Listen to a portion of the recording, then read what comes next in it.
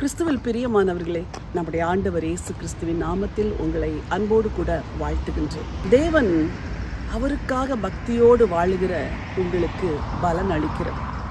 நீங்கள் தேவனை சார்ந்து தேவனை பிரியப்படுத்தி வாழுகிற வாழ்வில் எந்த பலனுமே இல்லை என்று ஒருவேளை கவலைப்பட்டு கொண்டிருக்கலாம்.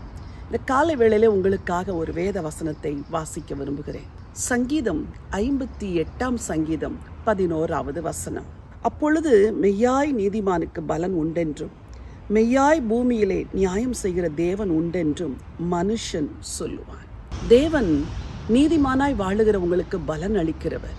நீதிமானாய் வாழுகிற உங்களுக்கு நியாயம் செய்கிறவர். மெய்யாய் பலன் உண்டு மெய்யாய் நியாயம் செய்வார்.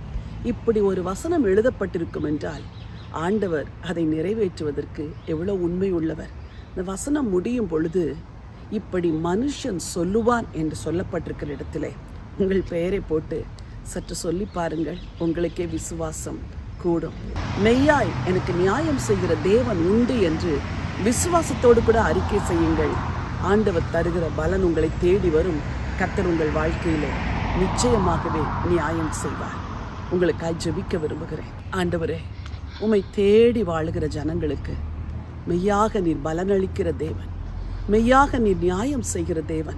உம்முடைய வார்த்தை உண்மை உள்ளது அந்த உண்மையுள்ள வார்த்தையை நம்புகிற உம்முடைய பிள்ளைகளுக்கு பலன் அளிப்பீராக நியாயம் செய்வீராக. உம்முடைய பிள்ளைகளே தங்கள் வாயை திறந்து ஆண்டவர் எனக்கு நிச்சயமாகவே பலன் கொடுத்தார். எனக்கு நியாயம் செய்தார் என்று அறிக்கை செய்ய கத்தரை அனுக்கிரகம் செய்யுங்கப்பா. பலனை எதிர்பார்த்து காத்து சோர்ந்து போயிருக்கிறவர்களுக்கு மெய்யாகவே நீ பலன் கொடுக்க போகிறதற்காய் கோடி ஸ்தோத்திரம். ஆசீர்வதிங்க ஆண்டவரே. ராஜா இயேசுவின் நாமத்தில் பிதாவே. ஆமே ஆமே பிரியமானவர்களை தேவன் உங்களுக்கு மெய்யாக பலன் கொடுப்பார். மெய்யாக நீதி செய்வார். இந்த நினைவோடு இந்த நாளை துவங்குங்கள். இந்த நாள் ஒரு வெற்றியின் நாள். God bless you